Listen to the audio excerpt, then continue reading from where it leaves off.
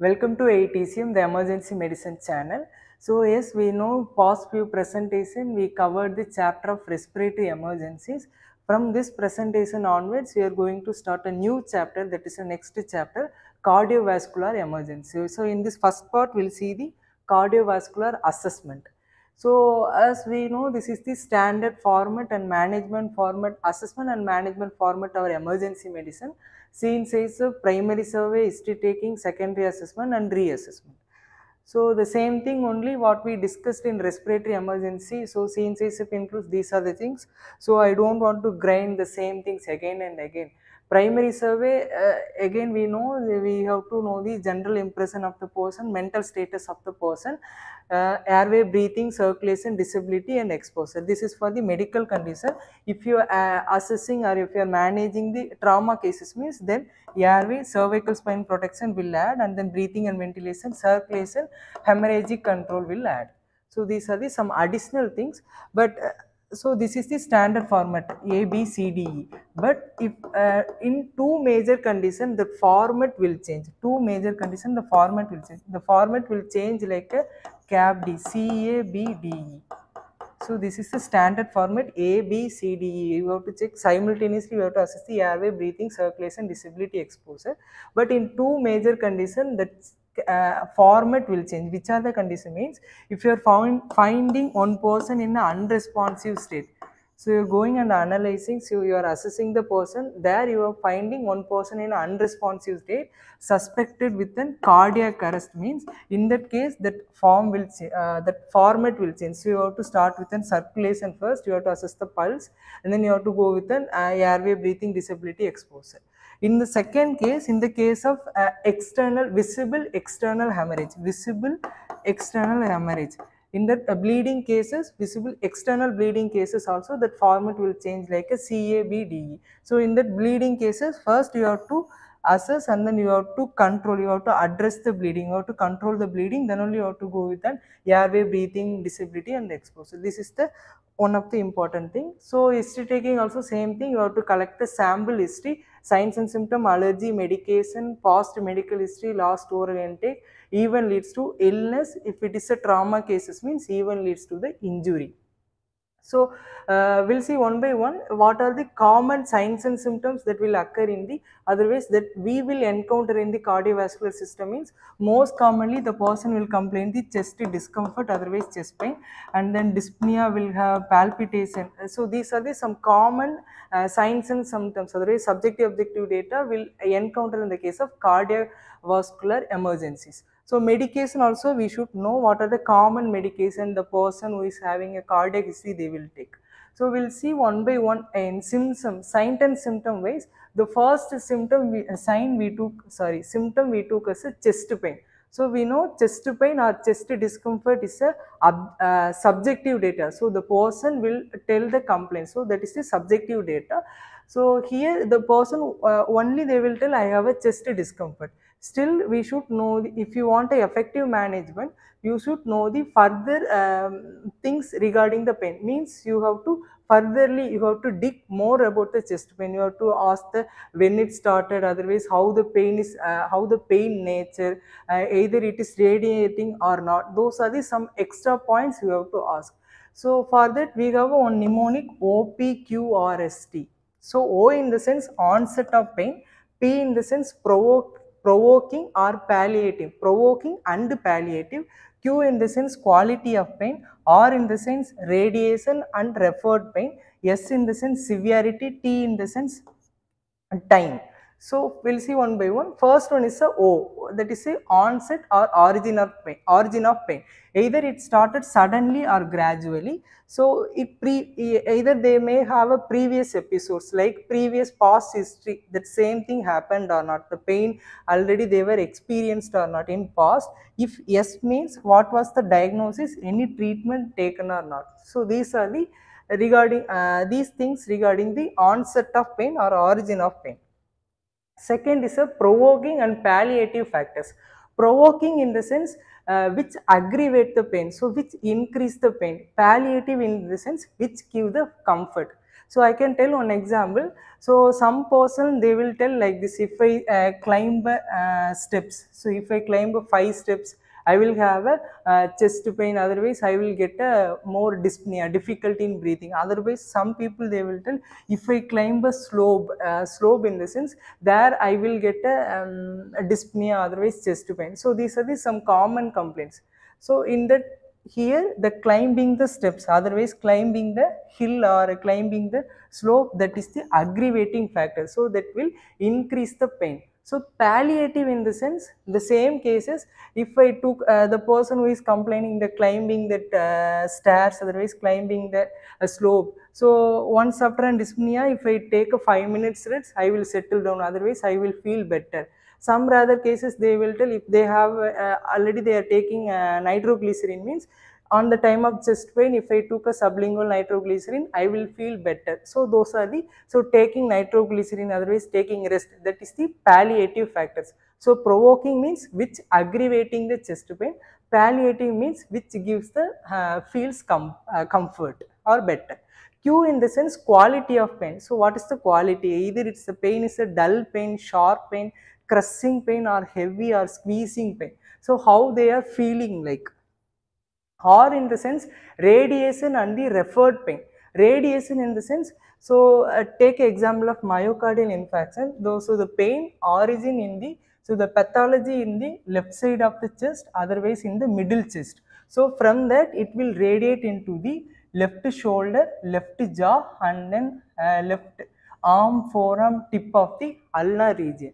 So here what is the concept means? So in the case of uh, myocardial infarction, that vagus nerve, nerve get injured. Otherwise, the issued nerve is a vagus nerve.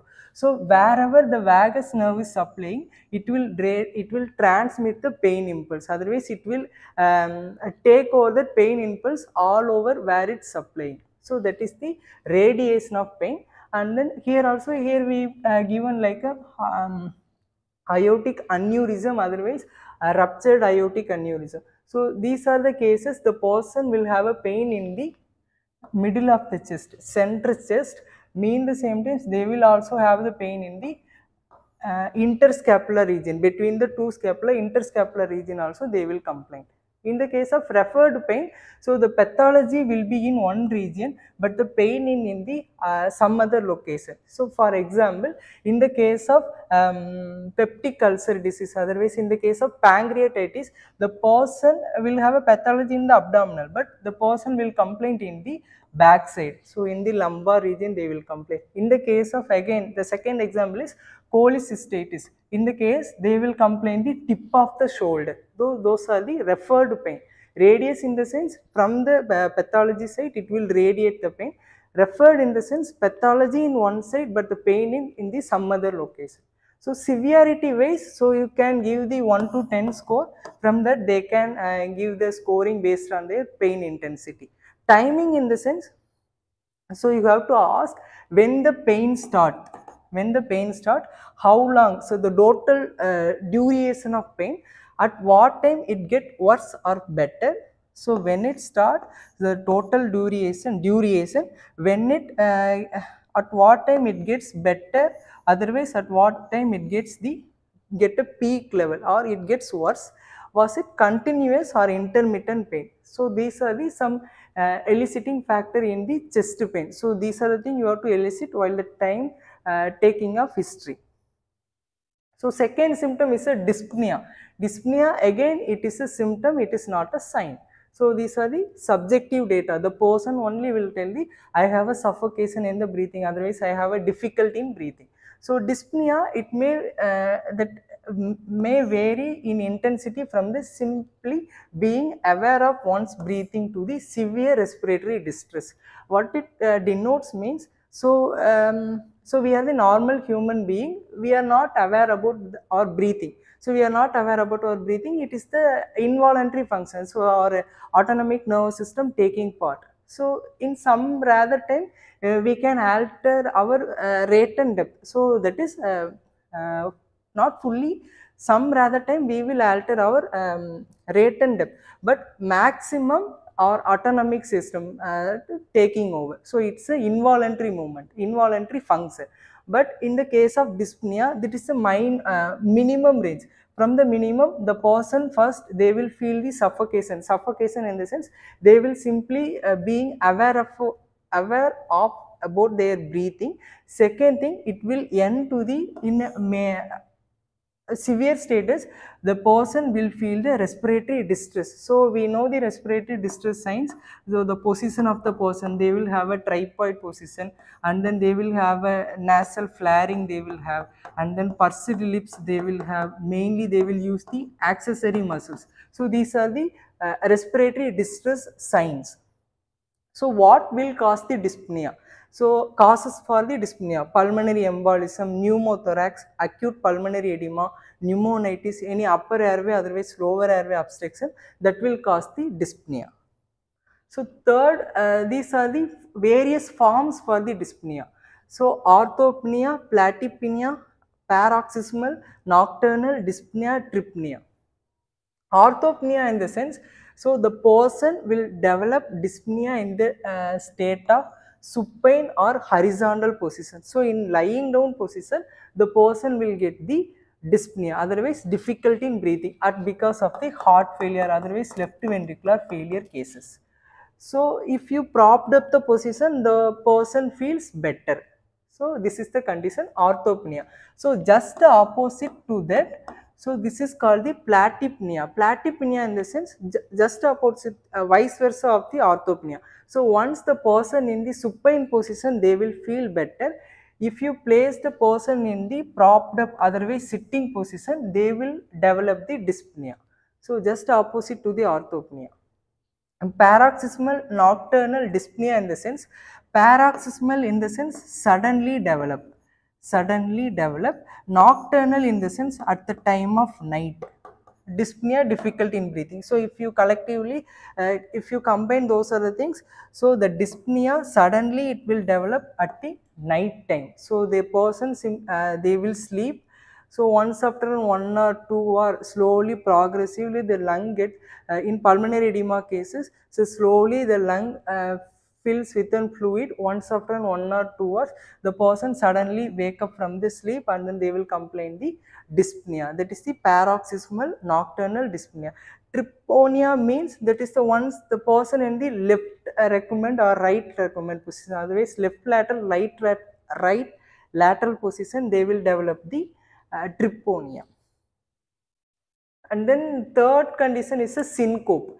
Syncope in the sense otherwise known as a, in general term we will call as a fainting. So it is a sudden temporary loss of consciousness. Sudden temporary loss of consciousness otherwise you can remember as a transient loss of consciousness.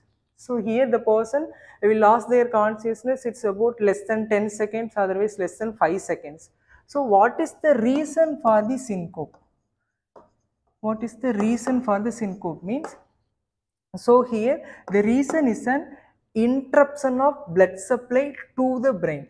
Interruption of blood supply to the brain. So I will explain this condition. So our brain is a, so we know it is a major vital organ, but it brain doesn't have any storage box. Means if you are providing continuous fuel means the brain will run. If you cut off the fuel means the brain won't run. That is the thing. So you can think our uh, electricity, so light or fan. So if you are switching on means if you are providing electricity, the fan will run. If you are turning off the light means the electricity cut off, so fan won't run. The same concept only if you are providing continuous fuel, fuel in the sense blood and oxygen. If you are providing fuel means the brain will run. If you are cutting cut off the fluid means the brain won't run. That is why brain won't have any storage box. So for that reason only syncope is developing. So it will cause the transient loss of consciousness. Once if the blood flow retain means the consciousness will retain. That is the concept. So two major uh, conditions we are describing causes. First one is a cardiac and non-cardiac. Cardiac in the sense pump related, non-cardiac in the sense non uh, it is non-pump related. Okay? So cardiac pump related what are the causes? Bradycardia. So decreased um, heart rate that is the less than 50 beats per minute based on the American Heart Association. So, sick sinus syndrome in the sense that is a sinus node dysfunction, sinus node dysfunction. So, here that uh, if you analyze the rhythm means you will get a tachycardia and then bradycardia then in the asystole. So, that manner will follow in the ECG rhythm. So, supraventricular tachycardia we know, ventricular fibrillation we know, Stokes-Adams syndrome it is most important. In Stokes-Adams syndrome the person even in a supine position the person will develop the syncope. So, Stokes-Adams syndrome mainly because of the arrhythmia it will happen. So, because of the arrhythmia the most important thing the even in a supine position the person will develop the syncope. Second, uh, next one is a myocardial infarction, ball valve thrombus also most important. So here thrombus in the sense blood clot, ball valve in the sense, so thrombus blood clot. So it is a floating blood clot, it is like a ball round in shape or whichever, whichever in shape, so that will floated in inside the cavity otherwise either that uh, thrombus may present in the left ventricle otherwise in the aorta so while the person leaning forward, while leaning forward, that floating ball will obstruct the outflow. Okay. So if it is a left ventricle means if it is a floating ball while leaning forward, it will obstruct the outflow. So it will obstruct the aorta, thereby it will reduce the blood flow to the brain. So that is the ball valve thrombus. Cardiac medication like beta blockers, alpha blockers, nitrates, digitalis, diuretics. So beta blockers, alpha blockers, nitrates, those are the vasodilators, nitrates.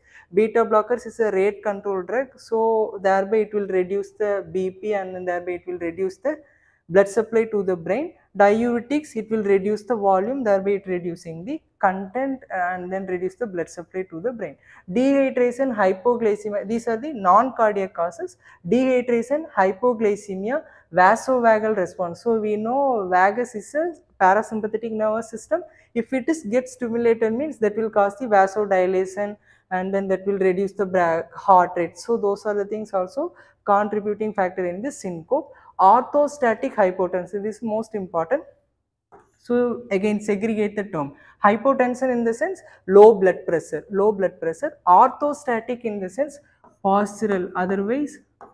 So, uh, so uh, orthostatic hypotension means the person will develop the hypotension otherwise low blood pressure when from the changing the position otherwise from the sitting or uh, lying down position to the standing position on the time the person will develop the hypotension. So, how we can measure means for orthostatic hypotension First, you have to take the blood pressure while in the supine resting position. So, you have to make the person in supine position. There you have to take the blood pressure. Okay, manual BP with a sphygmomanometer.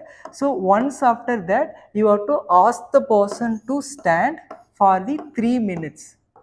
So, time interval is most important. You have to ask the person to stand the 3 minutes. Then after 3 minutes, you have to take the blood pressure okay. Here additional factor we have to concentrate on the blood pressure and mean the same times pulse also. So, you have to take blood pressure and pulse okay.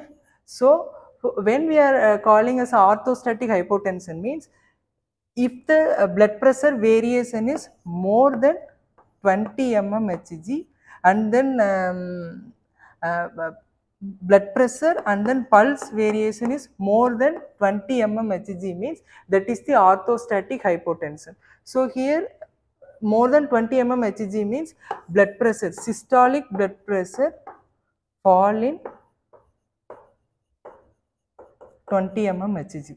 So, first if you measure the uh, like 120 80 mm Hg in the supine position so while the time, uh, while the time of standing, if you are measuring like a hundred or um, 80 mm Hg. So here the difference is 20 mm Hg. So the fall in blood pressure more than 20 mm Hg means that is the orthostatic hypotension. Here we told pulse also most important. The pulse will increase 20 beats per minute, uh, the rate will increase 20 beats per minute because BP is falling. So, to overcome that the heart rate will increase, the pulse rate will increase. So, BP if you measure, you can remember as a T20 rule. T20, it is not a rule, we are making as a rule. T20 means 20, the systolic blood pressure will drop more than 20 mm Hg to compensate that the pulse rate, otherwise the heart rate will increase more than 20 beats per minute. That is the orthostatic hypotension. And next cause is a pulmonary embolism, situation, uh, urination, swallowing, coughing. So while the time what will happen, our intrathoracic and then intra-abdominal pressure will increase, thereby it will cause the reduced venous return, stroke, reduced stroke volume, then reduced cardiac output. Uh, those are the factors that leads to. So other medication like alcohol, cocaine, opioid analgesic, tricyclic antidepressant. So next is symptom sign is a palpitation. Palpitation in the sense the sensation of abnormal, fast or irregular heartbeat. So these are the causes anxiety, lack of sleep, caffeine and then hyperthyroidism. So fatigue is also the lot of causes is there fatigue for a majorly hyperkalemia, hypokalemia, medication like beta blockers, diuretic, antihypertensive. Those are the common cause for the fatigue. So why we are talking these are the th uh, those things means so while taking an history, if the person complaining palpitation or fatigue or syncope means, so these are the things, the causes you should keep in your mind, then only you can uh, ask the person if the person is complaining palpitation. So you have to keep in mind, so these are the causes that will uh, contribute to the palpitation. So you have to ask the person either you are uh, taking the regular medication anything, either you have a history of hyperthyroidism for that you are taking any medication. If the person is complaining fatigue means there you have to ask the beta blocker history, uh, a previous episode of uh, hypokalemia, hyperkalemia, any antihypertensive medication. So for that idea only we are giving the these are the things. So next is uh, these are the common medication uh, with the person uh, have a cardiac previous cardiac history they will take antiarrhythmics uh, we know that is uh, four classes so sodium channel blockers second is an sodium channel blockers and then potassium channel uh, sorry beta blockers potassium channel blockers and then calcium channel blockers those classes anticoagulants. So that prevent the coagulation enoxaparin clopidogrel warfarin heparin angiotensin converting enzyme inhibitors that is the pril category captopril enalapril beta blockers olol category atenolol metoprolol lipid lowering agents like statin atorvastatin diuretic furosemide spironolactone vasodilators nitroglycerin isosorbitrate mononitrate uh, uh, dinitrate those are the categories. Over the counter medication herbal supplements. So here the most important thing is a vasodilator. So think if the person have a, again myocardial infarction. So in myocardial infarction so the person uh, major complaint is angina pectoris. So that uh, for angina pectoris he immediately will give the vasodilator of sublingual nitroglycerin 0.4 mg. That is the uh, routine dose no? So without taking the history without taking the medication history you should not provide the sublingual nitroglycerin. So the reason is that in the case of if the person is taking phosphodiesterase inhibitor so these are the medic uh, this is the class of medication in the case of heart failure otherwise copd um, these are the condition the person will take the phosphodiesterase inhibitor group. So these are the potent vasodilator, potent vasodilator. So again in myocardial infarction also they we will give the nitroglycerin that is also vasodilator. So without taking the history if you are providing the nitroglycerin means already these also nitroglycerin also vasodilator mean the same same boss uh, phosphodiesterase inhibitors, uh, inhibitors also vasodilator. If you are providing both means that will cause the more and more complication. That is why phosphodiesterase inhibitor usage is uh, if the person is taking means nitroglycerin is contraindicated. So that is the one of the important history we have to take before administering the sublingual nitroglycerin. So secondary assessment you have to take from the head to foot assessment. So here we are assessing the skin for that, for skin, you have to assess the CTC. So, you have to assess the color of the skin, you have to assess the temperature of the skin, you have to assess the condition of the skin. So, color wise red or flushed skin, pale or white, mottled and then blue, uh, blue or jaundice.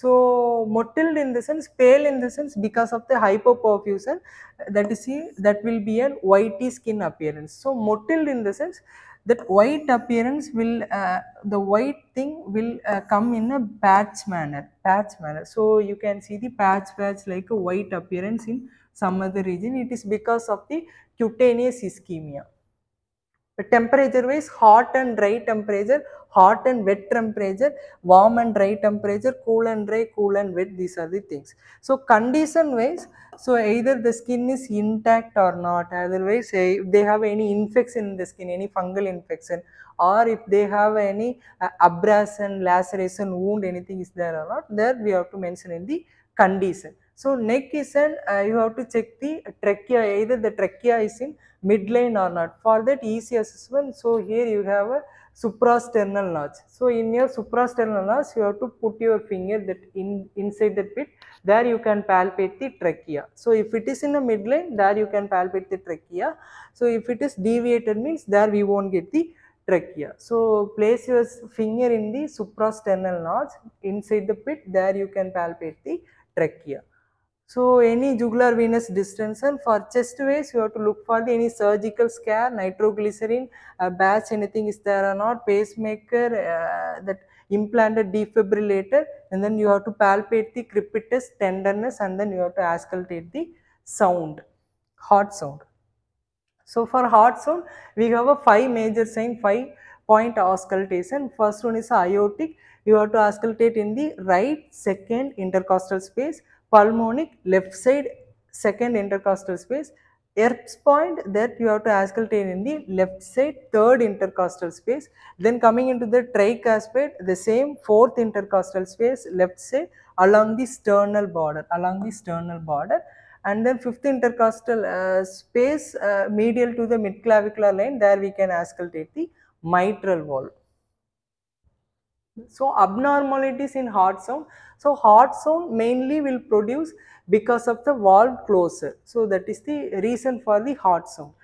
So S1 will auscultate in the case of closure of the atrioventricular valve that is the bicuspid and then tricuspid valve. So S2 will hear in the closure of the aortic and pulmonic valve. So where will he get the abnormalities? So loud S1 in the pulmonary hypertension, anemia, fever, hyperthyroidism, stenosis to mitral valve because there, uh, the pressure over the wall is increased. So for that there will be a loud S1 will hear, decrease S1 in the sense fibrosis, calcified or obesity, emphysema, cardiac tamponade. So split sound also will hear. So split sound means there will be a different different sound. So if the same time both valve closing means you will get a lup alone. So if it is closing one by one means you will get a split sound that will be in the uh,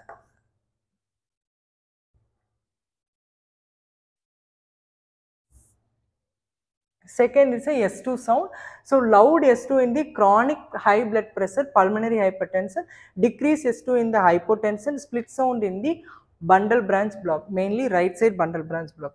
So auscultation wise, routinely we have to practice in the uh, normal S1, S2.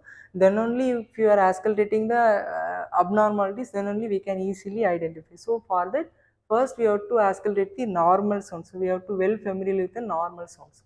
So next assessment the extremities, look at the patient arm, hand, feet, uh, legs for the any swelling, swelling in the sense edema. So for edema we have to understand one concept.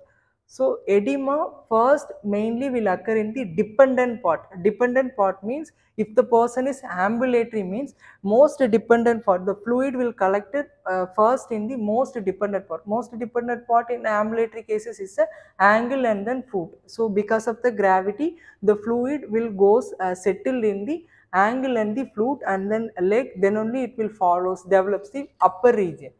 But in the case of uh, bedridden person, so prolonged bedridden person, otherwise bedridden person, the most dependent area is in lower back and then sacral region. So if you are assessing the edema in the ambulatory cases, there you have to see the angle and foot for edema. If you are assessing in the case of uh, bedridden cases, there you have to see the lower back and then sacral region. So abdomen we have to lightly palpate uh, for any distension or pulsation bowel sound also we have to auscultate. So, bowel sound where we can auscultate right side uh, lower quadrant you can auscultate the bowel sounds. So, vital ways the 5 parameters again we have to take in that for enlightening the cardiac uh, cardiovascular system we have to see the four major things. So, here we mentioned pulse deficit, pulse paradoxus, pulse pressure and then orthostatic hypotension already we mentioned. So, pulse deficit in the sense the difference between the apical and then peripheral pulses. Apical where will uh, auscultate? So, apical in the sense inside the, in the heart. So, you can place your steth in the fifth intercostal space, you have to count the rate. So, think it is the 100 beats per minute like that you can take the example. So, peripheral pulse you have mean the same thing you have to palpate the peripheral pulse peripheral pulse then you can take the radial or brachial pulse. There you have to count the rate. Think uh, will set as example of 75 beats per minute. So there will be a variation between the apical and then peripheral pulse. This is called the pulse deficit. So mainly it will occur in the case of atrial fibrillation cases. So you have to while the time of pulse assessment both side both extremity you have to um, palpate mean the same times you have to palpate the apical and then peripheral pulse also to uh, see the whether the person have a pulse deficit or not. Pulsus paradoxus in the sense the systolic blood pressure will drop more than 10 mm Hg in the inspiration. So, normally our blood pressure will fluctuate uh, in the case of respiration means in the time of inspiration the blood pressure will fall, in the time of expiration the blood pressure will increase. This is because of the uh, intrathoracic pressure. So, but here if the uh, so we told in inspiration the blood pressure will drop, but it will be less than 10 mm Hg only the difference will be there. So, if it is more than 10 mmHg means that is the pulsus paradoxus. So, these are the pulsus paradoxus under uh, we um, majorly we can't perform I think we, we can't perform in the uh, pre-hospital region because if you want to uh, assess in more accurately means you have to you sorry you should need a arterial intra-arterial catheterization then only you can see the difference between the inspiration and the expiration. So, pulse pressure in the sense that is the difference between the systolic blood pressure and then diastolic blood pressure. So, we will take a systolic diastolic that is somewhat about 30 to 40 is a normal 30 to 40 mm Hg. So, if it is a more than 40 mm Hg that is the late stage of shock narrow means less than 30 means that is the tachycardia and then cardiac tamponade. The final part reassessment. So, uh, it, it accomplished en route to the hospital for stable cases every 15 minutes we have to do unstable cases 5 minutes. So, those are the things we have to know. So, what are the things we have to reassess? So, again we have to repeat the primary survey airway breathing circulation disability exposure. In primary survey part if you missed anything otherwise uh, while the time of assessment if you missed anything means you can do it again. Otherwise if any changes again recheck if any changes occurred in the physical examination that you have to head to foot any changes occurred or not that you have to reassess. Third part if you did any intervention means uh, like if airway is obstructed otherwise in unconscious so inserted any oropharyngeal nasopharyngeal airway means you should assess the effectiveness of the that implementation. So, is it okay otherwise it is placed in correct uh, the person gets improved or not that you have to assess and then final part prepare the proper documentation. So, you have to prepare the proper documentation of the call and then you have to notify the receiving facility. So, these are the comes under the reassessment part. So, the whole thing about the cardiac assessment from next presentation onwards we will see the uh, medical condition. So, do your best, shalom.